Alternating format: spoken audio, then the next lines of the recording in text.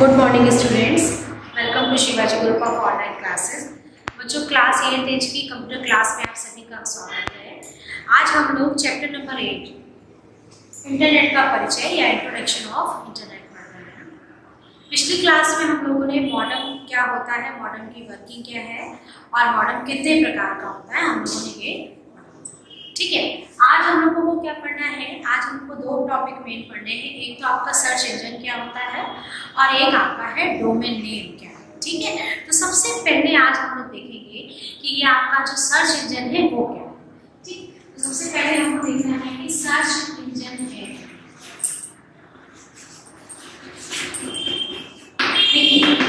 Search engine क्या होता है?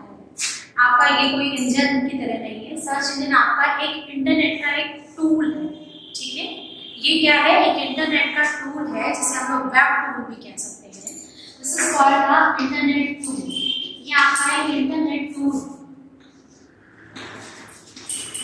ये इंटरनेट टूल है, या जिसको हम लोग कह सकते हैं वेब टूल ठीक है? This is a web tool जिसके द्वारा हम लोग, या आपका जो यूज़र है, वो इंटरनेट पर किसी भी इंफॉर्मेशन को डब्ल्यू डब्ल्यू डब्ल्यू में सर्च करेंगे ठीक है? आपके जो भी वेबसाइट्स होती हैं these are store on www आपकी, हमारी जो भी हम लोग की वेबसाइट्स होती हैं इंटरनेट पर वो कहाँ पे स्टोर होती हैं these are store on www वो सब के सब जो है, वो वर्ल्ड वाइड वेब में स्टोर होती है. तो आपका जो सर्च इंजन सर्च इंजन एक सॉफ्टवेयर है ठीक है? सर्च इंजन एक टूल है, एक सॉफ्टवेयर है, एक वेब टूल है, जो कि यूज़र क्या करता है, उसको आप जो टेक्स्ट बॉक्स है, उसमें या जो भी उसको प्लेस मिला, जहाँ पर वो टेक्स्ट टाइप करके पर्टिकुलर कोई भी इंफॉर्मेशन या कोई भी सूचना जो है, वो डब्ल्यू डब्ल्यू डब्ल्यू से सर्च करता है। ये ज़रूर ध्यान रखिएगा कि जो इंफॉर्मेशन को वो सर्च कर रहा है, वो डब्ल्यू डब्ल्यू डब्ल्यू से सर्च कर ठीक है? तो ये इस तरह से करता है। अब आपके पास यहाँ पे क्या है कि आपके जो इंटरनेट की ऐसी जो सर्च इंजन है, बहुत सारे सर्च इंजन पास। ऐसे बहुत सारे सर्च इंजन है जो कि आपको ये फैसिलिटी प्रोवाइड करते हैं कि हम कहाँ कैसे हम जो इन्फॉर्मेशन को ढूंढें। तो उसमें सबसे पहला जो आपका मोस्ट इंपॉर्टेंट है, जो सबसे फ़ेमस है दैट इज़ गूगल ठीक है? ये गूगल आपका क्या है? Google W W W Google dot com ये हम लोग ऑलरेडी सारे साइट्स के नाम लिख चुके हैं। फिर मैं एक बार आपको लिख के दे दे रही हूँ कि आपका ये जो आपका गूगल है, ये आपका search engine these are the examples of सब है एग्जांपल देखिए इसके कौन कौन से हैं या कौन कौन से आपको सर्च इंजन प्रोवाइड इंफॉर्मेशन को सर्च करने के सबसे पहला आपका है ये www google.com ठीक है? www फिर आपका है याहू yahoo.com ठीक? उसके बाद आपका और आपके कौन कौन से हैं सर्च इंजन फिर आपका है रेडिफ मेल www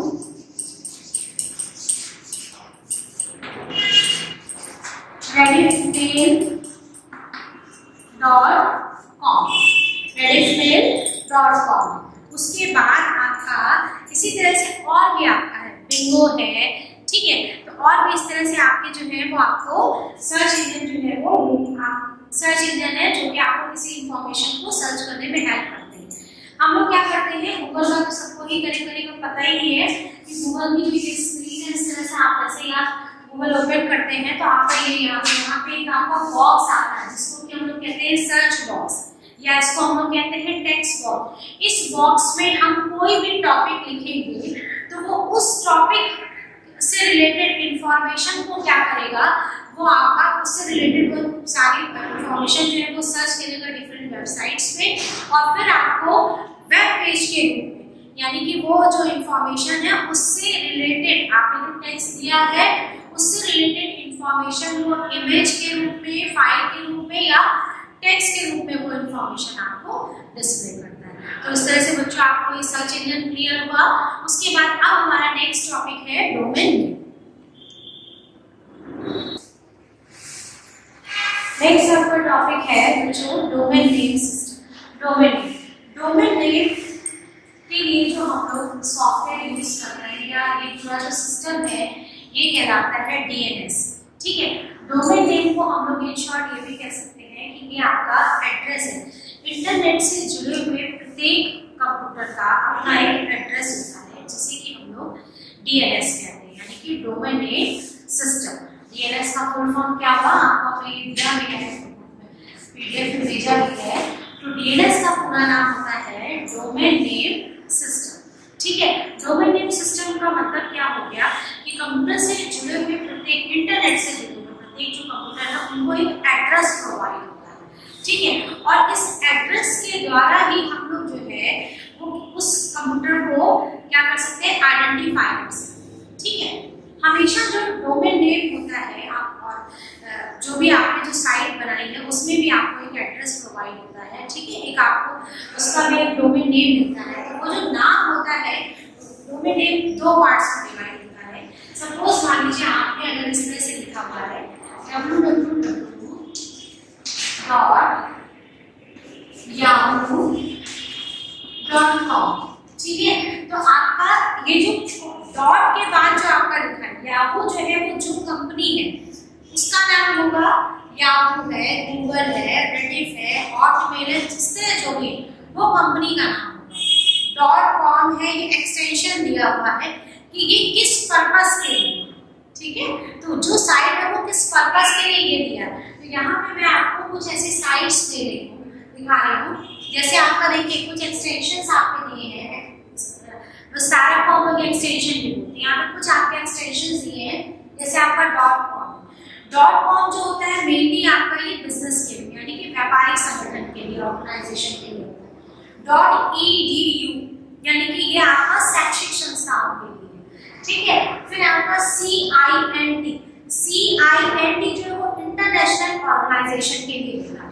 किसके लिए है ये इंटरनेशनल ऑर्गेनाइजेशन के लिए। फिर आपका ये दिया हुआ इन इन का मतलब होता है ये अमेरिकन आपके जो भी एजुकेशन सेंटर्स हैं, उनके लिए होगा। या आपका एजुकेशन जो भी अमेरिकन संस्थाओं के लिए, या जो आपके गवर्नमेंट ऑर्गेनाइजेशन है, उनके लिए आपका ये होगा। फिर अब आपका आता है ये O R J O R J जो होता है, ये आपका अव्यवसायिक संस्थाओं, संस्थानों के लिए है और नेट जो होता है वो नेटवर्किंग से रिलेटेड जितनी भी संस्थाएँ हैं या ऑर्गेनाइजेशन है, उनके ठीक है? तो आपको डोमेन नेम में आपका सिर्फ़ डीएनएस का फुल फॉर्म पूछा जा सकता है और आपसे ये पूछा जा सकता है कि डोमेन नेम का काम क्या होता है? तो डोमेन नेम एक तरह से आपको क्या करता है? ये एड्रेस प्रोवाइड एड्रेस प्रोवाइड से ये हो जाएगा कि कोई भी व्यक्ति या पर्टिकुलर कंप्यूटर या कोई साइट जो है वो इंटरनेट पर इजली ढूंढी जा सकती ठीक है बच्चों? तो इस तरह से ये टॉपिक हमारा कंप्लीट हुआ। हमारा नेक्स्ट टॉपिक है। नेक्स्ट आपका ये है भारत में इंटरनेट सुविधा। भारत में इंडिया में हम लोग को जो इंटरनेट की जो सुविधा, जो प्रदान कर रहा है, वो कौन कौन दे रहा है? ठीक है? यानी कि जो जिसको हम लोग कह सकते हैं आईएसपी आईएसपी क्या है? आईएसपी का फुल फॉर्म होता है आईएसपी डॉट कॉम है, ठीक है? तो आईएसपी का फुल फॉर्म होता है इंटरनेट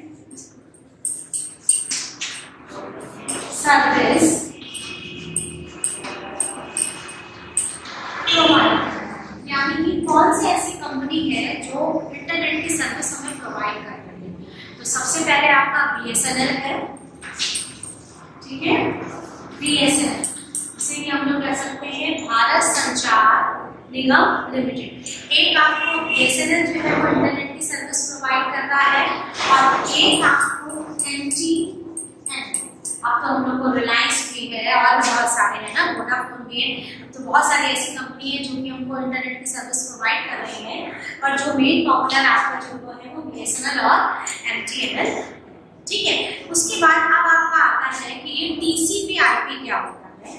टीसीपी आईपी नाम को थोड़ा ध्यान से देख लीजिएगा टीसीपी आईपी टीसीपी आईपी का फुल फॉर्म क्या है transmission control protocol internet TCP IP यानी कि ये आपका एक प्रोटोकॉल्स है, ठीक है?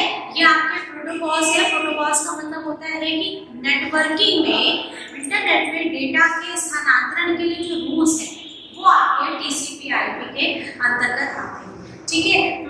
टीसीपी आईपी का मतलब ये होता है कि आपका जो कंप्यूटर है, उसको डायरेक्टली जो है वो एक टेलीफोन लाइन के द्वारा, एक टेलीफोन लाइन और एक मॉडर्न की हेल्प से इंटरनेट से कनेक्ट कर दिया जाता है और फिर उसमें आप किसी भी तरह की, चाहे फिर वीडियो हो, चाहे ऑडियो हो, किसी भी तरह की इंफॉर्मेशन को हम लोग जो है उसमें सेंड कर सकते हैं। ठीक है बच्चों?